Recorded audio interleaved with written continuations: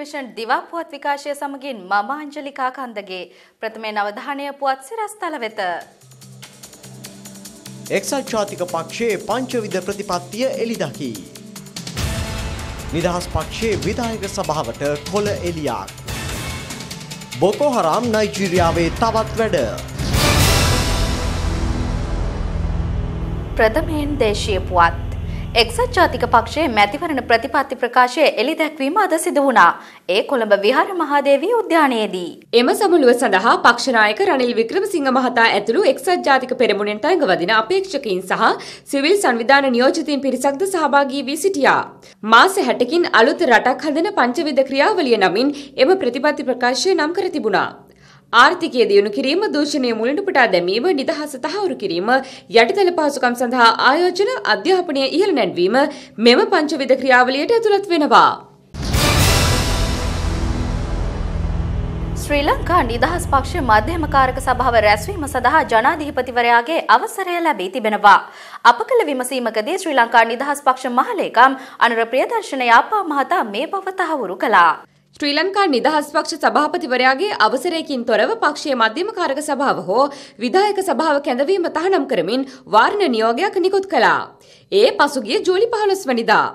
පක්ෂයේ ජ්‍යෙෂ්ඨයන් පිරිසක් පසුගියදා ජනාධිපතිවරයාගෙන් මේ සම්බන්ධව ඉල්ලීමක් කළා. ඒ අනුව එම පිරිස ජනාධිපතිවරයා මුණ ගැසී තිබුණා. එහිදී මෙම අවසරය ලැබුණු බවත් ඉදිරි සතියේ දිනයකදී මධ්‍යම කාරක සභාව රැස්වෙන බවත් ශ්‍රී ලංකා නිදහස් පක්ෂ මහලේකම් අනුර ප්‍රියදර්ශන යාපා මහතා පැවසුවා. අග්‍රාමාත්‍ය රනිල් වික්‍රමසිංහ මහතා ඒකාධිපති පාලකයෙකු ලෙස හැසිරෙමින් රටේ සංවර්ධනය නවතා දමා ආර්ථිකය විනාශ කරන බව හිටපු අගවිනිසුරු සරත් එන් සිල්වා මහතා පවසනවා. ඊයේ පස්වරුවේ කොළඹ මහජන පුස්තකාල ශ්‍රවණාගාරයේ පැවති කලාකරුවන්ගේ මාධ්‍ය හමුවකට එක් වෙමින් හෙතෙම මේ බව කියා සිටියා. ජනහිතවාදී කලාකරුවෝ ව්‍යාපාරය මගින් මෙම විද්වත් කතිකාව සංවිධානය කර තිබුණා. මෙම අවස්ථාවට හිටපු පාර්ලිමේන්තු මන්ත්‍රණී මාලිනී ෆොන්සේකා ආචාර්ය දයන් ජයතිලක ඇතුළු පිරිසක් සහභාගී වුණා. හොඳ ආර්ථික ශක්තියක් නැත්තම් මේ කලාව ඕන එකක් නැගී එන්නේ නැහැ.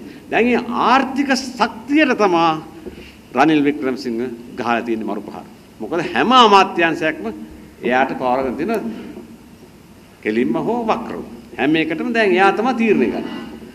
දැන් මං ඇහුවා දැන් ජපානත් එක්ක ගිවිසුමක් කරන් තියෙනවා මොකද්ද මේ ටෙලිවිෂන් මොකද්ද බ්‍රෝඩ්කාස්ටින් මොනවද එකක් සම්බන්ධයෙන්. ඒකත් නවත්තලා. ඒකත් නවත්තලා. එතකොට ජපාන් අගමැති අස්සම් කරපු ගිවිසුමක්. ඒකේ නිලධාරි මහත්මයා මට කිව්වා මොනවද උන්නේ කියලා. ආයෙත් මම මම මේක කල්පනා කරලා බලලා තීරණයක් දෙන්නම් කියලා. ඔන්න ඕක තමයි ඒකාධිපති කියන්නේ. දැන් කවුද ඉන්නේ ඒකාධිපතිය?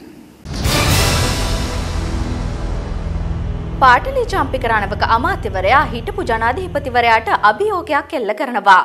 ඔහු එමගින් කියා සිටින්නේ මහා භාණ්ඩාගාරය මගින් කොටිස්ත්‍රස්තවාදීන්ට මුදල් ලබා නොදුන්නේ යයි ඔප්පු කරන ලෙසයි. එක්සත් ජාතික යහපාලන පෙරමුණ විසින් නිකුත් කළ නිවේදනයක ඒ කරුණු සඳහන් වෙනවා. එහි දැක්වෙන්නේ හෝමාගම ප්‍රදේශයේ පසුකියදා පැවති ජනහමුවකදී අමාත්‍යවරයා මේ පිළිබඳව කරුණු අනාවරණ කළ බවයි. හෙතෙම එම ජනහමුවේදී හිටපු ජනාධිපතිවරයා විවේචනයට ලක් කරමින් අදහස් ප්‍රකාශ කළා. මහින්ද මහත්තයා රටේ භාණ්ඩාගාරය හිස් වෙනකන් කොටින්ට කප්පන් ගෙව්වා. දේශද්‍රෝහී කොටි අපේ රටේ ආරක්ෂක අංශ ඝාතනය කරද්දී සරත් පොන්සේක මහත්තයාට බෝම්බ ගහලා තියෙද්දි කොටින්ට සල්ලි දුන්නා. සේනාධි නායකයා රාජ්‍ය නායකයා. එයා ඒ සල්ලි දීම නැවැත්තුවේ එයාගේ මල්ලි ගෝඨාභය මහත්තයාට බෝම්බ තිබ්බට පස්සේ. රටෙහි පවුල් ලක්ෂ පනස් දෙකෙන් පවුල් ලක්ෂ දාහතරක් සමෘද්ධි ප්‍රතිලාභ ලබා ගැනීම මගින් පෙනෙන්නේ රටේ නිර්මාණය වී ඇති දුප්පත්කම බව විදේශ රැකියා ඇමතිනි තලතා අතුකෝරල මහත්මිය පවසනවා. රත්නපුර රක්වාන ප්‍රදේශයේ පැවති ජනහමුවකදී මෙම අදහස් පළ වුණා. එහිදී ඇය කියා සිටියේ දුප්පත්කමින් පෙළෙන රටට අවශ්‍ය නළුවන් නොව අවංක නායකයින් බවයි. පසුගිය සමයේ සිදු වූ පවුල් දේශපාලනය හේතුවෙන් රට සංවර්ධනය නොවූ බවත් ළමා පරපුර මන්දපෝෂණයෙන් පෙළෙන බවත් පැමිණ සිටි පිරිස අමතමින් හෙතෙම කියා සිටියා. පින්තූරයක් ගහනවා පුතාලා තුන්දෙනාත් එක්ක ආඩම්බරකාර තාත්තා කියලා. ගහන්න පුළුවන් පින්තූරේ ලොකු පුතාගේ කටේ කිරිසුවඳ යන්න ඉස්සෙල්ලා පාර්ලිමේන්තුවට ගෙනාවා. එයා ඊළඟට ජනාධිපති වෙන්න ශ්‍රී ලංකා නිදහස් පක්ෂය ශ්‍රී ලංකා පවුල් පක්ෂයක් බවට පත් කළා. එයාව ඉස්සරහට අරගෙන වැඩ කරගෙන ගියා. දෙවනි පුතාව නාවික හමුදාවට ඇරිය කිසිම කතන්දරයක් නැහැ. නාවික හමුදාපතිගේ වරප්‍රසාද මේ ලෙෆ්ටිනන්ට් වරයාට ලබා දීලා එයාට කැමති විදියට රග සෙල්ලම ගගහා ඉන්න දුන්නා. තුන්වෙනි පුතාව අභ්‍යවකාශයට අරින්න කටයුතු කළා. ඉතින් ආදරණීය අම්මේ තාත්තේ ඕගොල්ලන්ට පුළුවන් ද ඕගොල්ලන්ගේ ස්වාමි පුරුෂයන්ට පුළුවන් ද මෙතන ඉන්න මහත්තුරුන්ට පුළුවන් ද ආඩම්බරකාර තාත්තා කෙනෙක් වෙන්න? ඇයි ඉස්කෝලේට යනකොට දරුවට මෙහි ගුරුවරයා නැහැ. ඉස්පිතාලේට යනකොට හෙදියෝ නැහැ බේත් ගන්න. ඉතින් මේ මේ ගම්වල ඉන්න තමුන්නාසලාට අපිට බෑ ආඩම්බරකාර තාත්තා කෙනෙක් වෙන්න. ඉතින් ඔය පෝස්ටර් එක අලෝපුවම අපේ අය ඕක දිහා අතකක අනේ ෂෝක් ළමයි තුන්දෙනා ෂෝක් ජනාධිපතිතුමා. වෙන කතාවක් නෑ ආඩම්බරකාර තාත්තා රටේ ළමයි මන්ද පෝෂණයෙන් පෙළෙනවා ඉස්කෝලේ යන දරුවෝ වැඩිම මන්ද පෝෂණයෙන් පෙළෙන දරුවෝ බවට පත් වෙලා තියෙන ගැබිනි මව්වරු බිහි කරන්නේ අඩුබර දරුවෝ. මේ හැම එකක්ම වෙලා රට ප්‍රපාතයට යනකොට අපි කතා කරනවා මේ නළුවගේ දරුවෝ තුන් දෙනාගේ ලස්සනයි උස මහතයි රගර එක ගැනයි මේ හැම එකක්. ධර්මය ඉතා සරලව මහජනතාවට අවබෝධ කර දීමේ අරමුණින් සරල සිංහල භාෂාවට පරිවර්තනය කර සංක්ෂිප්ත කරන ලද ත්‍රිපිටක ග්‍රන්ථ තුනක් සම්පාදනය කර තිබෙනවා. මෙම ග්‍රන්ථ ත්‍රිත්වය ඊයේ පස්වරුවේ ජනාධිපති මෛත්‍රීපාල සිරිසේන මහතා වෙත පිළිගැන්වීම ජනාධිපති කාර්යාලයේදී සිදු වුණා. ත්‍රිපිටක ග්‍රන්ථ සම්පාදන මණ්ඩලය විසින් මෙම ග්‍රන්ථ සම්පාදනය කර තිබෙනවා. ඒ බුද්ධ ශාසන හා ආගමික කටයුතු අමාත්‍යංශය සහ බෞද්ධ කටයුතු දෙපාර්තමේන්තුවේ විශේෂ ව්‍යාපෘතියක් ලෙසයි.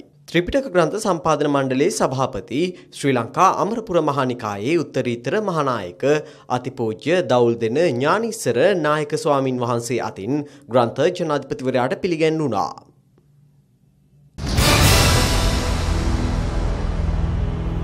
ශ්‍රී ලංකා ඉතිහාසයේ ප්‍රථම වරට චිත්‍රපට අධ්‍යක්ෂකවරයෙකු ඒ ශ්‍රේණියේ ජාත්‍යන්තර සිනමා සම්මානයලක් සඳහා තෙවන වතාවටත් නිර්දේශ වී තිබෙනවා. ඒ විමුක්ති ජයසුන්දර මහතා අධ්‍යක්ෂණය කළ සුළඟ ගිනිඅරන් චිත්‍රපටය ජාත්‍යන්තර සම්මානයක් සඳහා නිර්දේශ වීමත් සමගයි. හැට අට වන ලුකර්නෝ චිත්‍රපට සම්මාන උල්ලේ හොඳම චිත්‍රපට අධ්‍යක්ෂණය වෙනුවෙන් මෙලෙස විමුක්ති ජයසුන්දර මහතා අධ්‍යක්ෂණය කළ සුළඟ ගිනිඅරන් චිත්‍රපටය නිර්දේශ වී තිබෙනවා.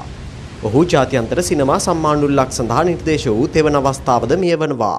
දෙදස් පහ වසරේ කෑන් සිනමා සම්මාන උළෙල දෙදහස් නමය වසරේ වීනස් සිනමා සම්මාන උල්ල සඳහාද මීට පෙර ඔහු නිර්දේශ වී තිබෙනවා. මෙලෙස තෙවරක් ඒ ශ්‍රේණියේ ජාත්‍යන්තර සිනමා සම්මාන උල්ලක් සඳහා නිර්දේශය ලැබූ එකම ශ්‍රී ලාංකික අධ්‍යක්ෂකවරයා වන්නේද විමුක්ති ජයසුන්දරයි. මෙලෙස තෙවරක් ඒ ශ්‍රේණියේ ජාත්‍යන්තර සිනමා සම්මාන උල්ලක් සඳහා නිර්දේශය ලැබූ එකම ශ්‍රී ලාංකික අධ්‍යක්ෂකවරයා වන්නේද විමුක්ති ජයසුන්දර මහතායි. එදදාස් නමසි හතලිස්සය වසරේ ආරම්භ කරන ලද ලොකර්නෝ සිනමා සම්මාන උල්ල සඳහා ලෝකේ රටවල් පණහට අධික ප්‍රමාණයක චිත්‍රපට අතරින් සම්මාන පිරිනැමීම සිදු කෙරෙනවා.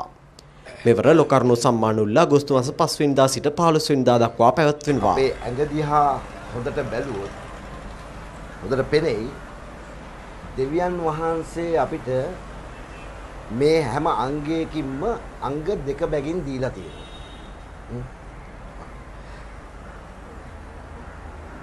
එහිදී ඩාකින්ද වයිට් ලයිට් හෙවත් සුළඟ ගිනියරන් චිත්‍රපටය ෆ්‍රන්දිවියා සම්මානය සඳහා මෙවර නිර්දේශ වී තිබෙනවා. වසර පහක් පමණ කාලයක් මුළුල්ලේ නිර්මාණය වූ මෙම සිනමා නිර්මාණය ජාත්‍යන්තර ගෞරවයට පාත්‍රවීම පිළිබඳව විශේෂ මාධ්‍ය හමුවක් ඊයේ පස්වරුවේ කොළඹ පදනම් ආයතනයේදී පැවැත්වුණා. එතකොට අර හාමුදුරන්ට මොකද වුනේ බං? දොස්තර කැලේ ඇතුලේ ගිනි තියාගත්තනේ. දැන් කැලේ ඇතුලේ ඉන්නවලු වෙදවතාරයක් වෙලා. අසනාවක් විතර ලංකාවේ උත්තර කාලයක සිනමාව ඉතාමත්ම රෑරු මාධ්‍යයක් විතර සැලකුව. ඒ යුගයේ තමයි ආචාර්ය ලෙස ජේම්ස් ෆීලිස් වැනි අය යුගයේ සහ වුන් අද ඔබට වුන් දක්වන ගෞරවය දක්වන්නේ ඒ නිසායි. තුමේ අතක දසමාසය අද පින්මල් බලලා නෙමෙයි. ඒ ඒ කාලේ යුගයේ සිටි මේ රටේ ජනතාව සිනමාව කොයිතරම් බැරෑරුම් විදිහට ගත්තද කියන එක උස්සේ තමයි අපි ඔවුන්ට සිනමාවට අද ගෞරවය තියෙන්නේ. නමුත් අපේ කාලේ මේ යුගයේ වෙනකොට ඒක තාම තවාසනාවක් විදිහට සිනමාව විතරක් නෙමෙයි සිනමාවට ගරු කරනකොට අපේ ජීවිතවලට ගරු කරනකොට ස්ටර් මහත්තයාට අවුරුදු 90ක් තුළ තියෙන ලොකු ඉතිහාසයක් තියෙනවා. මහත්තයාට කරපු දේවල් තියෙනවා, දැකපු දේවල් තියෙනවා කියන දේවල්. නමුත් අපේ ජීවිත ඉවරනකොට අපි කරපු දේවල් නැහැ. දැකපු දෙයක්වත් නැහැ කියපු දෙයක්වත් නැහැ. ඉඳලා විතරයි ඉන්නේ. කාලා බීලා විතරයි ඉන්නේ. ඉතින් මම මේ මේ තාම සරලව මේ කියන්න හදන්නේ අන්න ඕක තමයි මේ චිත්‍රපටෙත් කතා කරන්නේ. කියන්නේ ජීවිතේ කොයිතරම් වටිනවද? ජීවිතේ කොයිතරම් වටින දෙයක් තත්පරයක් හෝ ජීවත් වෙන ලැබෙන කොයිතරම් වටිනවද ඒක අපතේ යයි කිව්වා. තමයි පරිදි කිසි ලොකුවක් දෙයක් නයිජීරියාවේ උතුරු දෙසින් පිහිටි ගොම්බේ නගරයේ බස් නැවතුම් දෙකක් ආසන්නයේ බෝම්බ පිපිරීම් සිදු වුණා. එහි සිටින රතුකුරුස නිලධාරීන් පවසා ඇත්තේ මෙම සිදුවීමෙන් අවම වශයෙන් පුද්ගලයන් විසි නව දෙනෙකු මිය ගොස් ඇති බවයි. මෙම ප්‍රදේශයේම පසුගිය සතියේ බෝම්බ ප්‍රහාර එල්ල වී තිබුණා. එහිදී පුද්ගලයන් 49 දෙනෙකු මිය ගියා. ප්‍රහාරය සම්බන්ධයෙන් චෝදනා එල්ල වූයේ බොකෝ හරාම් සංවිධානයටයි. මෙම ඉස්ලාමීය සංවිධානය නයිජීරියාවේ උතුරු දිගට නිරන්තරයෙන් ප්‍රහාර එල්ල කරමින් සිටිනවා. එරට හිටපු ජනාධිපති මුහම්මදු බුහාරි පසුගිය මැයි මාසයේදී එම තනතුර බාර ගැනීමෙන් අනතුරුව මෙම ප්‍රහාර දියත් කෙරුණා. මේ අතර අද එල්ල වූ ප්‍රහාරයට පැය කිහිපයකට පෙර කැමරන් රාජ්‍යයේද සිදු වූ මරාගෙන මැරෙන බෝම්බ ප්‍රහාරයකින් තවත් 11 දෙනෙකු මිය ගොස් තිබුණා. කෙසේ වෙතත් අදාළ ප්‍රහාර සම්බන්ධයෙන් මෙතෙක් කිසිවෙකු වගකීම බහරගෙන නැහැ. අමරිකානු පොලිස් අත්අඩංගුවේ සිටියේදී දිවි නසාගත් කාන්තාව ඊට පෙරද සිය දිවි නසා ගැනීමට තැත් කර ඇති බව වාර්තා වනවා. ටෙක්සාසි චෙරිෆ්වරයාට අනුව අදාළ කාන්තාව අත්අඩංගුවට ගෙන සිටියදී පොලිස් නිලධාරීන් සමග ඇය පවසා ඇත්තේ ඇය මීට පෙර එවැනි උත්සාහයක යෙදී ඇති බවයි. ටෙක්සාස් හි මහා මාර්ගයකදී සැන්ඩ්‍රා බ්ලාන්ඩ් නැමැති 28 හැවිරිදි එම කාන්තාව අත්අඩංගුවට ගෙනුණා. බන්ධනාගාරයේදී ගෙලවලලා ගැනීමෙන් පසු ඇය මිය ගොස් සිටි අතර මරණ පරීක්ෂකවරයා තහවුරු කොට තිබුණේ එය සියදිවි නසා ගැනීමක් බවයි. කෙසේ වෙතත් ඇගේ පවුලේ ඥාතීන් මරණය පිළිබඳ සැකමතු කොට තිබෙනවා.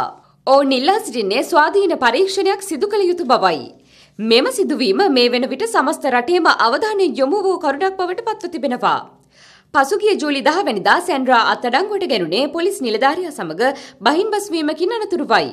එහිදී පොලිස් නිලධාරියා ඇයට වෙඩි තබන බවට අනතුරු ඇඟවීමක් කළ අයුරු දැකිය හැකියි.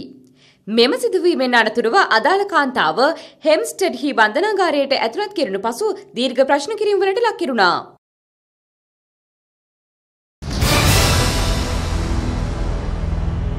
තුර්කියේ සුරුක් නුවර පසුගිය සඳුදා සිදු වූ සමූහ ඝාතන සිද්ධියේ ඝාතකයා විසිහැවරදි සිසුවෙක් බව එරට බලධාරීන් පවසනවා. ඔහු සෙයි අබ්දුල් රහමන් අලකෝස් නැමති කුර්දි ජාතිකයෙක් බව එරට මාධ්‍ය වාර්තාවන්හි සඳහන්. එම ඝාතකයා IS ත්‍රස්ත සංවිධානය සමග සබඳතා පැවැත්වූ බවට තුර්කි බලධාරීන්ගේ අදහසයි. මේ අතර කු르දි කැරලිකරුවන් තුර්කියේ පොලිස් නිලධාරීන් තිදෙනෙකු ඝාතනය කර තිබෙනවා. එය සුරුක්හි සිදු වූ ඝාතන සිද්ධියට පළිගැනීමක් බව පැවසෙනවා. සුරුක්හි සිදු වූ බෝම්බ ප්‍රහාරයේදී තරුණ සිසුන් 32 දෙනෙකු මිය ගියා. සියයකට අධික සංඛ්‍යාවක් තුවාල ලැබුවා. සංචාරක පකිස්ථානය හා ශ්‍රී ලංකාව අතර පැවති සිව්වෙනි එක්දින තරගෙන් කඩලු හතක පහසු ජයක් පකිස්ථානයට හිමි වුණා. මේ සමග පකිස්ථානය එක්දින තරගාවලියේ ජය හිමි කර ගැනීමට සමත් වුණා. තරගාවලියේ සිව්වන තරගය පැවැත්වුණේ කොළඹ ආර් ප්‍රේමදාස ක්‍රීඩාංගණයේදී. මෙම තරගයේ එම ක්‍රීඩාංගණයේ පැවති සියවෙනි තරගයද වුණා. කාසියවාසී දිනාගත් ශ්‍රී ලංකා කණ්ඩායම ප්‍රථමයෙන් පන්දුවට පහර දීමට තීරණය කළා. නමුත් පළමු කඩුල ලෙස කුසල් ජනිත් පෙරේරා ලකුණු නොලබා පන්දු දෙකදී දැවී ගියා. අනතුරුව දෙවන කඩුල සඳහා අනගි සබන්තාවක් ගොඩනැගීමට තිලකරත්න දිල්ෂාන් හා ලහිරු තිරිමාන සමත් වුණා. ඔවුන් දෙදෙනා එක්ව දෙවන කඩුල්ල සඳහා ලකුණු 109ක් රැස් කළා. අනතුරුව දිල්ෂාන් ලකුණු 50කට දැවී ගියා. කැපි පෙන්නින්මක් ක්‍රීඩා කළ උපනායක ලහිරු තිරිමාන ලකුණු 90ක් රැස් කළා. නායක ඇන්ජලෝ මැතිව්ස් දැවී ගියේ ලකුණු 12ක් ලබා සිටියේදී. දිනේෂ් චන්දිමාල් ලකුණු 20කට දැවී ගියා. පන්දු යීමේදී පාකිස්තානයේ මොහොමඩ් ඉර්ෆාන් කඩලු 3ක් හා අන්වාර් අලි කඩලු 2ක් බිඳ ශ්‍රී ලංකාවට නියමිත පන්දු අර්පණ අවසානයේ කඩලු 9ක් දෙවි රැස් කළගත හැකි වූයේ ලකුණු 256ක් පමණයි. පිළිතුරු නිම සඳහා පිටියට පිවිසි පාකිස්තාන කණ්ඩායම පන්දු අර 40යි පන්දු 5ක් පමණක් වැය කරමින් තරගයේ ජය වාර්තා කළා. අහමඩ් ෂෙසාඩ් ලකුණු 95ක් හා මොහොමඩ් හෆීස් ලකුණු 70ක් ලබා ගත්තා. මේ සමග පාකිස්තානය එළමෙන චැම්පියන්ස් ලීග් තරගාවලියේ ක්‍රීඩා කිරීමටද වරම් දිනාගත්තා. ශ්‍රී ලංකා මහ බැංකුව විසින් නිකුත් කළ විනිමය අනුපාතයන් මෙසේයි. ඇමරිකන් ඩොලර් එකක් රුපියල් 133 සත 79යි. යුරෝ එකක් රුපියල් 144 සත 88යි. සෞදි අරාබි රියාල් එකක් රුපියල් 35 සත 67යි. එක්සත් අරාබි එමිරේටි රාම් එකක් රුපියල් 36 සත 42යි. ජෝදාන් ඩිනාර එකක් රුපියල් 188.94යි. කුවේට් ඩිනාර එකක් රුපියල් 441.43යි. ඕමාන් රියාල් එකක් රුපියල් 347.50යි. කටාර් රියාල් එකක් රුපියල් 36.74යි. ඒ සමගින් කළම්බු ටෙලිවිෂන් දිවා ප්‍රවෘත්ති විකාශය නිමාවට පත්වනවා. අපගේ ප්‍රධාන ප්‍රවෘත්ති විකාශය සමගින් යළිත් හමුවෙමු. ආයිබෝවන්